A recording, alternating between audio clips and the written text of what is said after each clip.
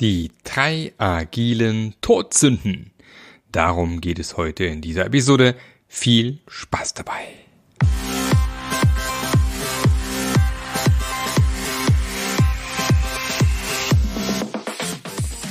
Der Passionate Teams Podcast. Der Podcast, der dir zeigt, wie du Agilität erfolgreich und nachhaltig im Unternehmen einführst. Erfahre hier, wie du eine Umgebung aufbaust, in der passionierte Agilität entsteht und vor allem bleibt. Und hier kommt dein Gastgeber, Marc Löffler. Hallo und herzlich willkommen. Schön, dass du wieder mit dabei bist. Äh, für mich wieder mit einer sehr späten Podcast-Folge, noch später wie letztes Mal.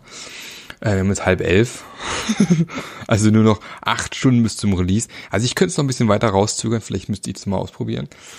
Ähm, ja, mein Name ist Marc Löffler und du bist hier beim Passionate Agile Teams Podcast. Und ich helfe Unternehmen dabei, die Agilität zu finden, die zu ihnen passt und somit am Ende auch bleibt.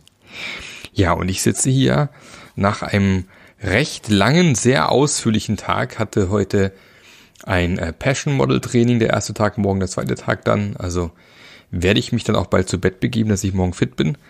Und habe dann tatsächlich am Abend noch einen Vortrag gehalten ähm, bei der Scrum User Group Stuttgart, wie im letzten, der letzten Episode ja schon angekündigt, wo ich mit euch ein bisschen gebrainstormt habe.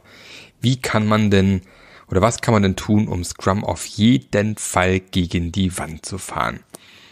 Und ähm, eine Frage, die ziemlich zum Ende kam, war dann, was sind denn deine Top 3 Dinge, wo du sagst, wenn man die macht, ähm, kann man ziemlich sicher von ausgehen, dass man mit Agilität gegen die Wand fährt.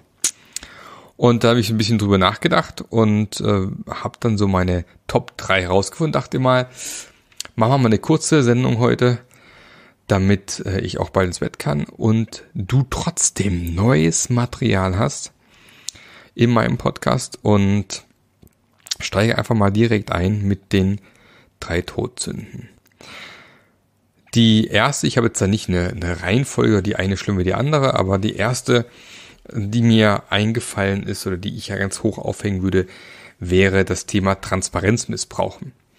Jetzt ist es ja so, dass durch äh, die agilen Tools und Methoden, die es eben so gibt, sei es ein Daily, sei es ein Sprint Backlog, sei es ein Review, kann man eben sehr schön sozusagen ins Innere des Projekts rein, rein reinklucken, gucken, gucken, lucken.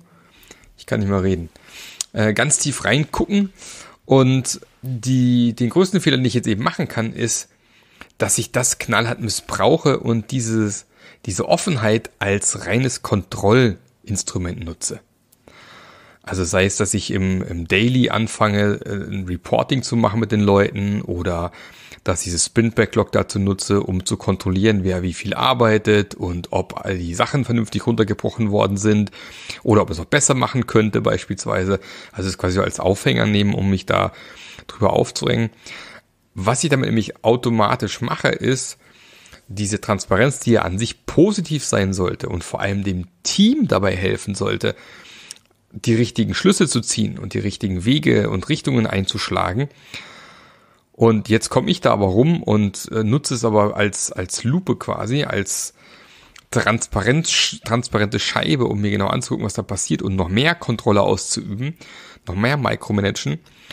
Dann muss ich mich nachher nicht wundern, wenn äh, die Leute anfangen werden, das Sprint Backlog nicht mehr so optimal zu pflegen oder dass nachher vielleicht Dinge am Board hängen, die da gar nicht hingehören oder sogar Dinge am Board gefaked werden oder dass halt die entsprechenden Widerstände irgendwann mal ganz weit oben sind, überhaupt in irgendeiner Form Transparenz zu werden. Also von dem her ist es für mich so ein erster Vertrauensbruch, den man da eben macht. Und Vertrauen ist mit einer der Grundlagen für gutes agiles Arbeiten. Deswegen, wenn ich das transparent missbrauche, ist schon mal eine schlechte Idee. Also für mich Todsünde Nummer eins. Die Todsünde Nummer zwei ist dann ähm, tatsächlich aus meiner Sicht Fehler hart bestrafen. Haben wir ja letzten Episode auch nochmal diskutiert. Also wenn ich tatsächlich keinerlei hm, Fehlertoleranz zeige, wenn ich alle neuen Ideen in Keim ersticke, wenn ich jede neue Idee, die schief geht, ganz hart anprangere und ähm, äh, tatsächlich auch immer darauf hinweise, wenn ich aktiv gegen äh, neue Prozesse, neue Ideen, Anpassungen oder Hinterfragen der bestehenden Prozesse und ähm, dann kann ich es eben auch nicht schaffen, eine gewisse psychologische Sicherheit aufzubauen. Das heißt, es wird dann eben auch schwer wiederum, dass Leute sich öffnen, dass sie kreativ werden und gerade agil ist ja so, ich habe es schon in einigen Episoden gesagt, Agilität löst keine Probleme, sondern macht diese transparent. Das heißt, der nächste Schritt ist dann eben auf die Kreativität der Teams zu hoffen, dass die dann sich überlegen, okay, so geht's nicht oder so geht's schlecht, wie können wir es denn anders machen? Aber wenn ich halt dann äh, sofort jeden Fehltritt und jeden, jede, äh, jedes fehlgeschlagene Experiment ahnde, dann werden die den Teufel tun, auf kreative Ideen zu kommen, sondern werden immer versuchen, auf Bewährtes zurückzugreifen und das wird mittelfristig nicht funktionieren. Also gute psychologische Sicherheit brauche ich ganz klar, um tatsächlich auch als agiles Team mich weiterentwickeln zu können, um tatsächlich besser agil zu arbeiten. Denn ohne psychologische Sicherheit gibt es keine Änderung, weil Leute ihre Komfortzone nicht verlassen. Also, das ist für mein Todsünde Nummer zwei.